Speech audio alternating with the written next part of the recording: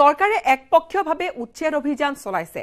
তাৎপৰ্যপূৰ্ণ মন্তব্য চৰকাৰৰ উচ্ছেদৰ ওপৰত বদৰুদ্দিন আজমলৰ। উচ্ছেদক লৈ প্ৰধানমন্ত্ৰীলৈ পত্ৰ লিখিছে এ আই ইউ ডি এফে শীতকালত উচ্ছেদৰ বিৰোধিতা বদৰুদ্দিন আজমলৰ। উচ্ছেদিতসকলক চৰকাৰে সহায় কৰিব লাগিছিল বুলি মন্তব্য কৰিছে আজমলে। লগতে উচ্ছেদিতসকল বাংলাদেশী নেকি বুলিও প্ৰশ্ন কৰিছে বদৰুদ্দিন আজমলে। বদৰুদ্দিন আজমলৰ কিছু তাৎপৰ্যপূৰ্ণ প্ৰশ্ন চৰকাৰে একপক্ষীয়ভাৱে উচ্ছেদ চলাইছে আৰু এই তাৎপৰ্যপূৰ্ণ মন্তব্য কৰিছে বদৰুদ্দিন আজমলে। উচ্ছেদক লৈ প্ৰধানমন্ত্ৰীলৈ পত্ৰ লিখিলে এ আই ইউ ডি এফে শীতকালত উচ্ছেদৰ বিৰোধিতা কৰি বদৰুদ্দিন আজমলৰ কিছু যুক্তি উচ্ছেদিত লোকসকলক চৰকাৰে সহায় কৰিব লাগিছিল বুলি মন্তব্য। সরকারে এক পক্ষ হিসাবে এক কমিউনিটির মানুষ টার্গেট করি এই উচ্ছেদটো চলাই আছে। আৰু মই প্ৰেচিডেণ্ট অফ ইণ্ডিয়া ক'ত লিখিছোঁ, আপোনালোকে জানে। আজি মোৰ এটা চিঠি আহিব চিফ মিনিষ্টাৰে ডাইৰেক্ট আমি ৰিকুৱেষ্ট কৰিম। তেখেতে এতিয়ালৈকে প্ৰেচিডেণ্টৰ কথা মানা নাই। যে কমচে কম এই শীতকালীন এই যে মানুষ বেয়ালতে কীরকম একটা রাজ্য থাকে দিব? অল্টারনেট কোনো ব্যবস্থা কৰিব লাগিছিল এটলিষ্ট ব্লেংকেট দিব লাগিছিল এটলিষ্ট খাদ্য বস্তু দিব লাগিছিল এটলিষ্ট সৰু সৰু ল'ৰা ছোৱালীৰ কাপোৰ তাপোৰ দিব লাগিছিল এই মানৱতা হিচাপে যে কাম কৰিব লাগে, এইটোৱে অসম চৰকাৰে কৰা নাই। ইণ্ডোনেছিয়াত ভূমিকম্পৰ শক্তিশালী জোকাৰণি। ইণ্ডোনেছিয়াত সাত দশমিক ছয় ৰিক্টাৰ স্কেলৰ প্ৰাবল্যৰ ভূমিকম্পই জোকাৰি গ'ল। আগন্তুক কেইবা ঘণ্টালৈকে সতৰ্ক হৈ থকাৰ জাননী দিয়া হ'ল। প্ৰথমে ছুনামিৰ আশংকাত সকলোকে সতৰ্ক হৈ থাকিবলৈ জাননী দিয়া হৈছিল। যদিও পিছলৈ ছুনামি ছুনামিৰ যি জাননী সেয়া উঠাই দিয়া হয়। ইণ্ডোনেছিয়াত নিশা দুই বাজি সাতচল্লিছ মিনিটত ভূমিকম্পৰ জোকাৰণি অনুভূত হৈছিল। অষ্ট্ৰেলিয়া পৰ্যন্ত অনুভূত হৈছিল এই জোকাৰণি। আৰু ভূমিকম্পৰ অভিকেন্দ্ৰ ইণ্ডোনেছিয়াৰ টানিয়াম্বাৰ ইফালে ভূগৰ্ভৰ সাতানব্বৈ কিলোমিটাৰ তলত উৎপত্তিস্থল ভূমিকম্পৰ। ভূমিকম্পত কোনো ক্ষয় ক্ষতি হোৱা নাই বুলি প্ৰথমে জনা গৈছিল যদিও প্ৰায় পোন্ধৰটাকৈ বাসগৃহৰ ক্ষয় ক্ষতি হৈছে। লগতে দুখন স্কুলৰ যি বিল্ডিং বা অট্টালিকা সেয়া ধ্বংস হৈছে বুলিও জনা গৈছে। এগৰাকী লোক যথেষ্ট গুৰুতৰ ৰূপত আঘাতপ্ৰাপ্ত হৈছে।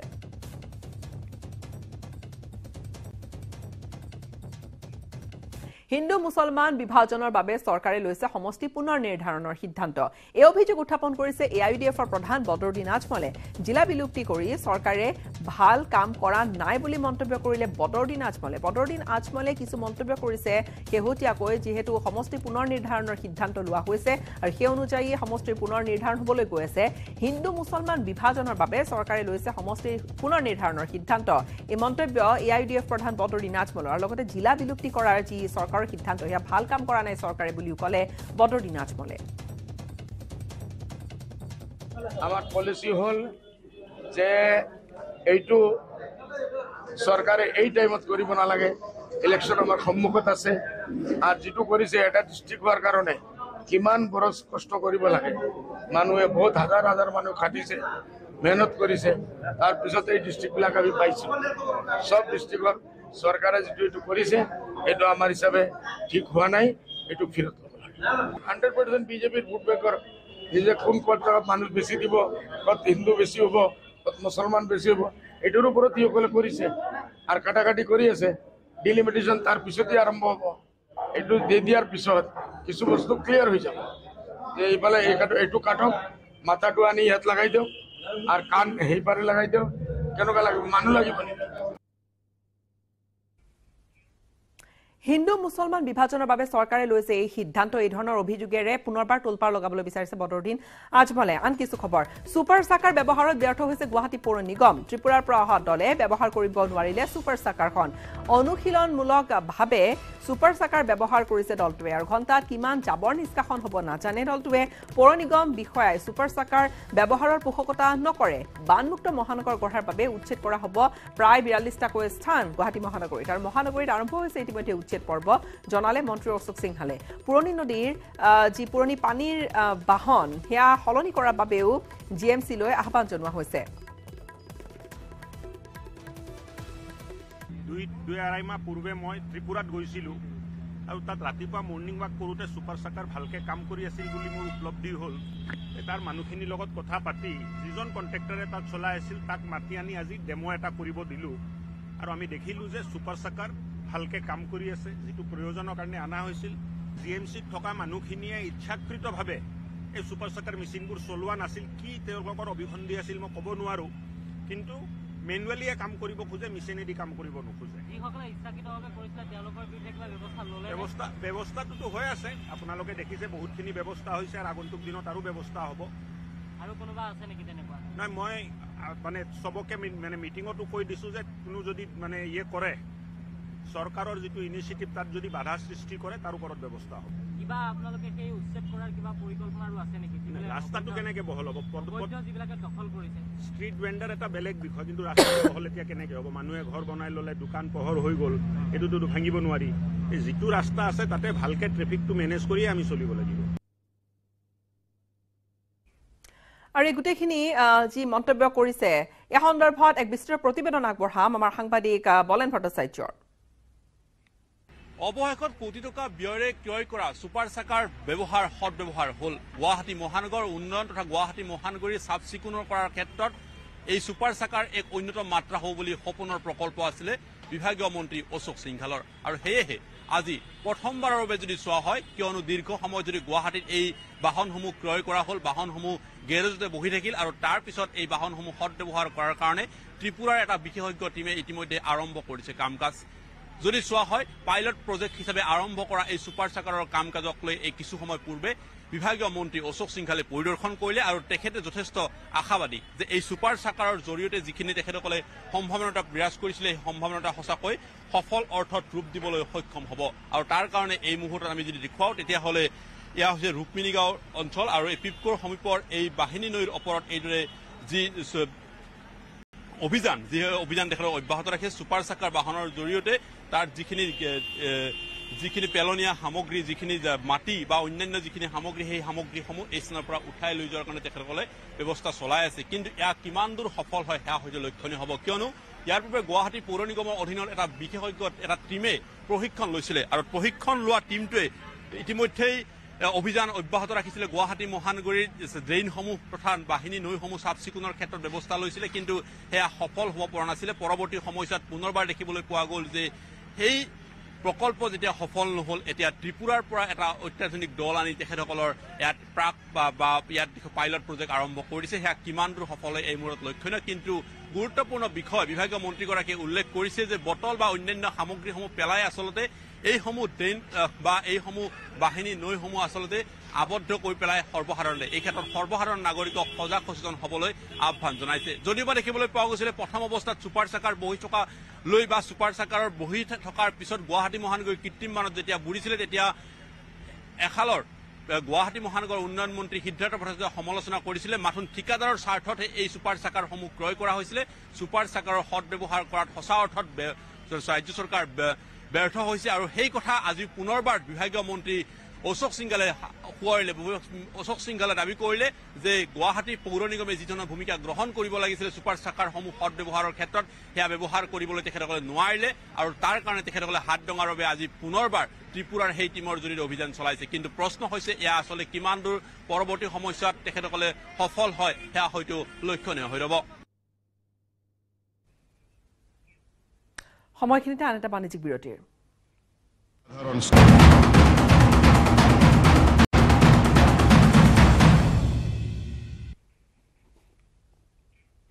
কংগ্ৰেছৰ বিৰুদ্ধে পুনৰ সৰব এ আই ডি এফ প্ৰধান Badruddin Ajmal. Who is Bhupen Bora and is Jitendra Singh বুলি প্ৰশ্ন কৰিলে আজমলে। কংগ্ৰেছ এ আই ডি এফৰ মিত্ৰতা সন্দৰ্ভত এইধৰণে মন্তব্য কৰি আজমলে ক'লে বিজেপিক বিদায় দিবলৈ আমি সাজু কিন্তু ছিৰিয়াছ নহয় কংগ্ৰেছ। খাৰ্গেৰ কাৰ্যালয়ৰ পৰা এ আই ইউ ডি এফলৈ তিনিদিন চিঠি আহিছে বুলিও মন্তব্য কৰিলে বদৰুদ্দিন আজমলে। মুঠৰ ওপৰত বদৰুদ্দিন আজমলৰ যি টাৰ্গেট সেয়া মুঠৰ ওপৰত মাজে সময়ে হৈ থাকে প্ৰদেশ কংগ্ৰেছ আৰু এইবেলিও প্ৰশ্ন তুলিছে বদৰুদ্দিন আজমলে হু ইজ ভূপেন বৰা?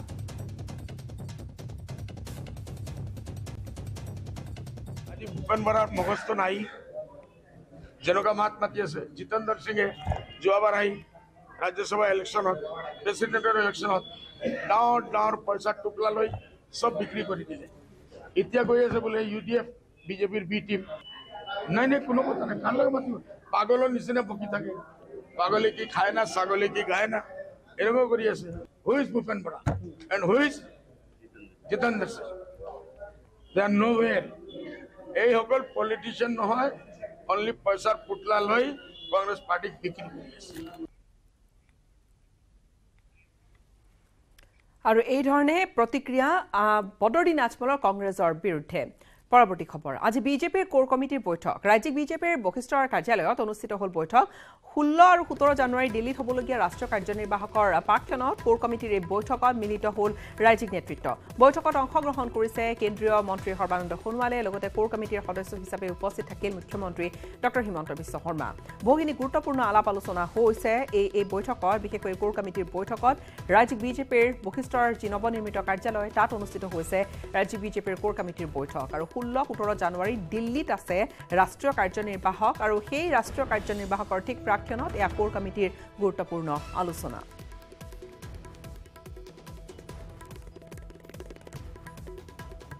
ইয়াতে আমি জি টুৱেণ্টি ছামিটৰ পৰা আৰম্ভ কৰি আমাৰ লোকসভা প্ৰবাসৰ পৰা আৰম্ভ কৰি আমাৰ যি বুথ লেভেলত আমাৰ বিভিন্ন কাৰ্যক্ৰম চলি আছে। সকলোৰে আমি সমীক্ষা কৰোঁ আৰু অহা চৌব্বিছ জানুৱাৰী তাৰিখে মৰিগাঁৱত আমাৰ ৰাজ্যিক কাৰ্যনিৰ্বাহকৰ সভাখন অনুষ্ঠিত কৰিবলৈ আমি সিদ্ধান্ত গ্ৰহণ কৰোঁ। ষোল্ল তাৰিখে পোন্ধৰ আৰু ষোল্ল তাৰিখে আমাৰ দিল্লীত ৰাষ্ট্ৰীয় কাৰ্যনিৰ্বাহক হ'ব আৰু চৌব্বিছ তাৰিখে অসমত আমাৰ ৰাজ্যিক কাৰ্যনিৰ্বাহক হ'ব। আৰু এই মুহূৰ্ততে গোটেইখিনি আলোচনা কৰিম। আচলতে কোৰ কমিটিৰ বৈঠকত কি কি আলোচনা হৈছে সন্মুখত নিৰ্বাচন আছে আৰু বিশেষকৈ ৰাষ্ট্ৰীয় কাৰ্যনিৰ্বাহক আছে। সংযুক্ত হৈছোঁ নিউজ ৰুমৰ পৰা আমাৰ জ্যেষ্ঠ সাংবাদিক ৰাজু বৰুৱাৰ সৈতে। ৰাজু কোৰ কমিটিৰ বৈঠক কি কি আলোচনা হ'ল আৰু বিশেষকৈ লক্ষ্য কি এতিয়া ৰাজ্যিক বিজেপিৰ? চাওক গীতাশ্ৰী যিহেতু কোৰ কমিটি বৈঠক ইতিমধ্যে সমাপ্ত হৈছে আৰু কোৰ কমিটি বৈঠক ইয়াৰ পূৰ্বে সাত অক্টোবৰত হৈছিল। সাত অক্টোবৰত যেতিয়া গৃহমন্ত্ৰী অমিত শ্বাহ আৰু ৰাষ্ট্ৰীয় সভাপতি জে পি নাড্ডা কন্যাধৰাত সেই সময়ত এই কোৰ কমিটিৰ বৈঠক হৈছিল। আৰু কোৰ কমিটিৰ বৈঠক সেই অক্টোবৰত সমাপ্ত হোৱাৰ পিছত জানুৱাৰী মাহত দুহেজাৰ তেইছৰ জানুৱাৰীৰ আজি এই দহ তাৰিখে এই কোৰ কমিটিৰ বৈঠক অনুষ্ঠিত হৈছে। আৰু কোৰ কমিটিক আপুনি কোৱাৰ ধৰণে যদি চোৱা যায় সন্মুখত নিৰ্বাচন আছে লোকসভা নিৰ্বাচন। আৰু তাৰ সমান্তৰালভাৱে যদি অসমৰ ক্ষেত্ৰত চোৱা যায় তেনেহ'লে অসমত পঞ্চায়ত নিৰ্বাচনো দুহেজাৰ তেইছ বৰ্ষ এই বৰ্ষটোতে অনুষ্ঠিত হ'ব। গতিকে স্বাভাৱিকতে নিৰ্বাচন কেন্দ্ৰিক তেওঁলোকৰ ৰণনীতি বা দলটোৰ কেনেধৰণে আগুৱাই লৈ যাব শক্তিশালী সংগঠনৰ ক্ষেত্ৰত কি কি কৰিব? কাৰণ বুথ বুথৰ ক্ষেত্ৰত যদি চোৱা যায় তেনেহ'লে বিজেপিয়ে শক্তিশালী সংগঠনৰ বাবে ইতিমধ্যেই এশ ছাব্বিছটাকৈ সমষ্টিত মন্ত্ৰী বিধায়ক সাংসদ বা ৰাজ্যিক বিষয়ববীয়া যিসকল আছে তেওঁলোকক ইতিমধ্যে এশ ছাব্বিছটা সমষ্টিত নিয়োগ কৰিছিল। আৰু তেওঁলোকে ইতিমধ্যে প্ৰতি প্ৰতিবেদন যদি চোৱা যায় তেনেহ'লে এশ ছাব্বিছটা সমষ্টিৰ আজি ভৱেশ কলিতাই যেতিয়া আমি তেওঁক সুধিছিলোঁ তেতিয়া এই কথা উল্লেখ কৰিছিল যে এশ দহখনকৈ প্ৰতিবেদন ইতিমধ্যে লাভ কৰিছে। গতিকে সেই কোৰ কমিটি কোৰ কমিটি বৈঠকত সংগঠন শক্তিশালী কৰাৰ ক্ষেত্ৰত বিশেষকৈ বুথ শক্তিশালীকৰণৰ ক্ষেত্ৰত কেনেধৰণে বিজেপি পৰৱৰ্তী খোজবোৰ কেনেধৰণে আগবঢ়াব সেই সম্পৰ্কে বিস্তৃত আলোচনা ইতিমধ্যে হৈছে। ঠিক একেদৰে জি টুৱেণ্টি ছামিট যিহেতু মাৰ্চ মাহত জি টুৱেণ্টিৰ যি পাঁচখনকৈ পাঁচটাকৈ অনুষ্ঠান অসমত অনুষ্ঠিত হ'ব। তাৰ। ভিতৰত চাৰিখন গুৱাহাটী আৰু ঠিক একেদৰে ডিব্ৰুগড়ত অনুষ্ঠিত হ'ব। গতিকে পৰ্যটন উদ্যোগ আৰু বাণিজ্য ক্ষেত্ৰত কেনেধৰণে গোটেই সম্প্ৰসাৰণ ঘটাব পাৰি বিস্তাৰ ঘটাব পাৰি তাৰ বিস্তৃত আলোচনা হৈছে। তাৰ লগতে যদি কেমেৰাৰ আগত অন কেমেৰা যদিও কোৱা হোৱা নাই এই যি কোৰ কমিটিৰ বৈঠক অনুষ্ঠিত হৈছিল সেই কোৰ কমিটি বৈঠকত বৰ্তমান সমষ্টি পুনৰ নিৰ্ধাৰণৰ যিটো প্ৰসংগ কেনেধৰণে যি প্ৰক্ৰিয়া ইতিমধ্যে আৰম্ভ হৈছে চাৰিশকৈ জিলাক ইতিমধ্যে জিলাৰ যি মৰ্যাদা আছিল তাৰ পৰা অৱনমিত কৰি মহকুমা পৰ্যায়লৈ লৈ যোৱা হ'ল। তাৰ ক্ষেত্ৰত সমষ্টিসমূহ পুনৰ নিৰ্ধাৰণৰ পিছত কেনেধৰণে বিভিন্ন যদি চোৱা যায় তেনেহ'লে দলীয় নেতা কেনেধৰণে তেওঁলোকৰ সমষ্টি ৰদবদল হ'ব পাৰে ইয়াৰ ক্ষেত্ৰত কি কি আসোঁৱাহ আহিব পাৰে অসুবিধা হ'ব পাৰে সেই সম্পৰ্কেও এই কোৰ কমিটি বৈঠকত আলোচনা হোৱা বুলি ইতিমধ্যে আমি খবৰ লাভ কৰিছোঁ।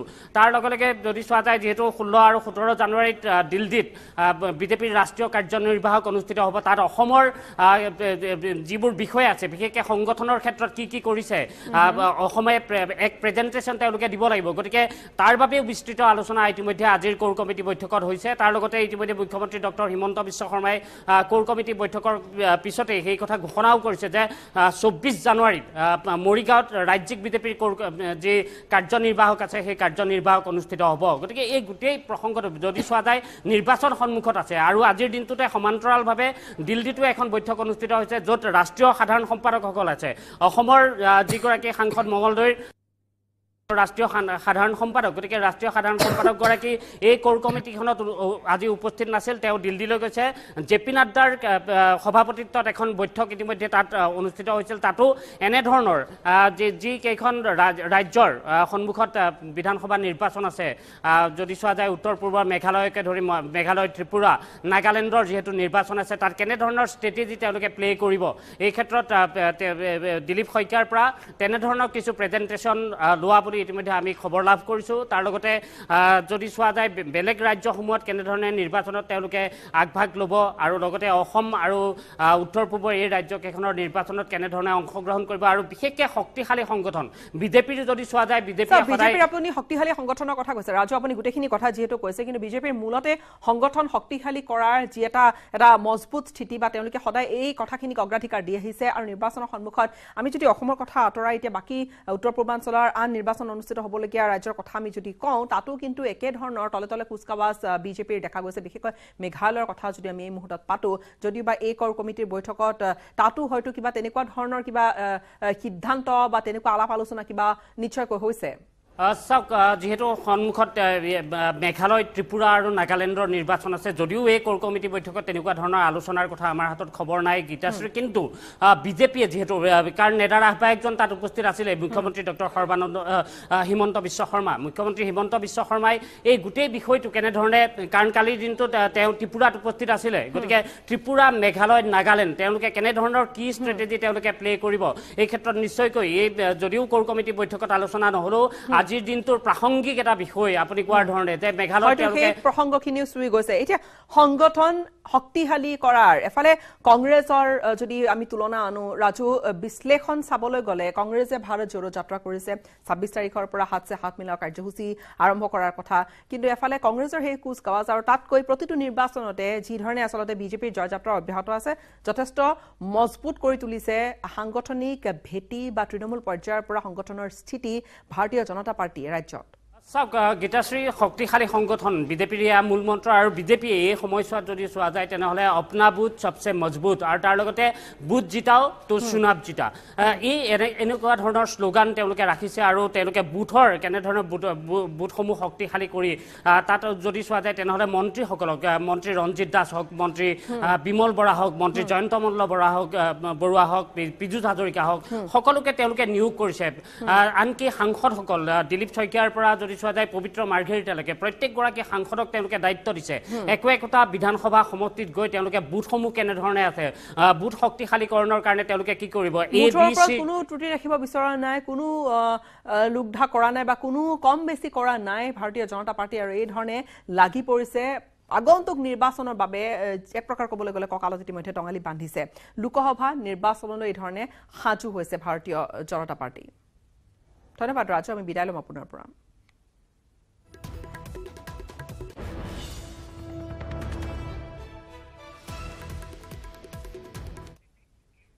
লোকসভা নিৰ্বাচনলৈ কঁকালত টঙালি বান্ধিছে। ইতিমধ্যে প্ৰায় প্ৰতিটো ৰাজনৈতিক দলে। পিছ পৰি ৰোৱা নাই তৃণমূল কংগ্ৰেছো। তৃণমূলৰ ৰাজ্যিক সভাপতি ৰিপুণ বৰাৰ নেতৃত্বত অসমত দলীয় ভেটি শক্তিশালী কৰাৰ পণ লৈছে মমতা বেনাৰ্জীয়ে। দলীয় ভেটি শক্তিশালী কৰাৰ লক্ষ্যৰে ধেমাজি টি এম চিৰ এক যোগদান কাৰ্যসূচীৰ আয়োজন। ৰিপুণ বৰাৰ উপস্থিতি টি এম চি যোগদান কৰিলে গণশক্তিৰ নেতা ৰাজকুমাৰ টাউকে ধৰি কংগ্ৰেছ আৰু আন দলৰ বহু সংখ্যক কৰ্মীয়ে টি এম চিৰ যোগদান কাৰ্যসূচীত অংশগ্ৰহণ কৰি নামনি সোৱণশিৰি নদী বান্ধৰ বিৰুদ্ধেও মত প্ৰকাশ কৰিলে ৰিপুণ বৰাই।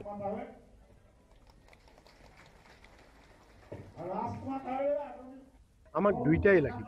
কৃষকো সুৰক্ষিত হ'ব লাগিব নাগৰিকো সুৰক্ষিত হ'ব লাগিব বিদ্যুতো আমাক লাগিব।